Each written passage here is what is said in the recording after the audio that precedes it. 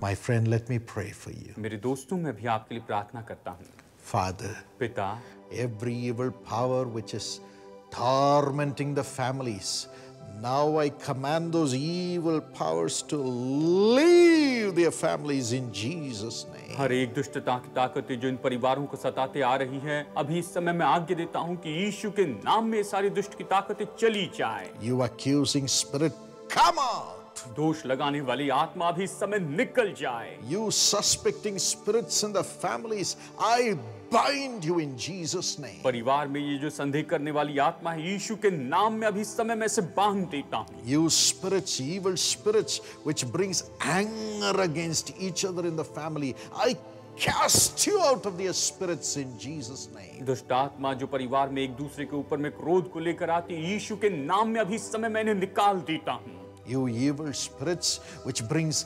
jealousy against each other in the family, I command you to leave in Jesus' name. दुष्ट आत्मा जो ये परिवार के बीच में एक दूसरे के विरुद्ध में जलन लेकर आती है यीशु के नाम में अभी इस समय मैं निकाल देता हूँ Lord, fill them with thy Holy Spirit. हे प्रभु इन्हें अपनी पवित्र आत्मा से भर दे Where the Spirit of the Lord is, there is liberty. जहाँ परमेश्वर का आत्मा है वहाँ पर आज़ादी है Let them have liberty, Lord. और ये लोग आज़ादी पाए प्रभु Let them begin to love each other. और ये एक दूसरे से प्रेम करने वाले हो जाए Holy Spirit, pour your love into their hearts. पवित्र आत्मा अपना प्रेम इनके दिल में उंडेल दे Pour your Spirit. अपनी आत्मा को उंडेल प्रभु Pour your love. अपने प्रेम को उंडेल Remove these evil spirits. इन सारी दुष्ट आत्माओं को दूर कर प्रभु and even their own spirits, Lord. और यहाँ तक कि इनकी खुद की जो आत्मा है Let it be subdued and the Holy Spirit rise up within them. वो वश में हो जाए और पवित्र आत्मा इनमें उभर कर आए Give them the grace to love each other in the family. प्रभु अनुग्रह करके परिवार में एक दूसरे से प्रेम करने वाले हो Give them the grace to pray for each other. प्रभु प्रार्थना कर अनुग्रह दे प्रभु की एक दूसरे के लिए प्रार्थना कर सके Give them the grace to pray together for each other. प्रभु इन पर अनुग्रह करके एक साथ मिलकर एक दूसरे के लिए प्रार्थना करें Give them the grace to prophesy your plan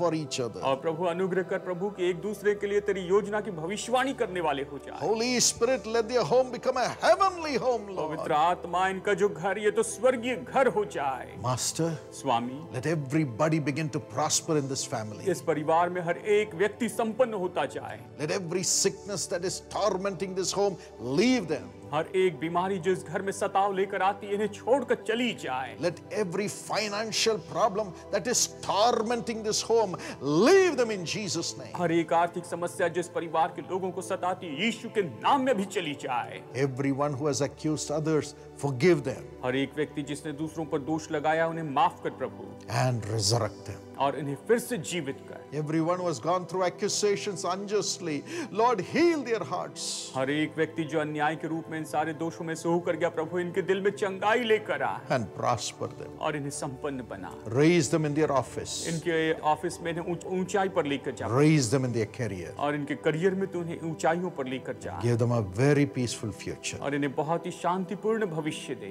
Thank you for blessing them Lord धन्यवाद करते हैं प्रभु इन्हें आशीष देने के लिए। Thank you for blessing them इन्हें आशीष देने के लिए धन्यवाद We give you all the glory. हम तुझे सारी महिमा देते हैं Let this day be a day of great blessing for your children. और निश्चय ये दिन तो तेरी आज तेरी संतानों के लिए महान आशीष का दिन हो Thank you for doing it. ऐसा करने के लिए धन्यवाद प्रभु In Jesus' name. यीशु के नाम में Amen. आमेन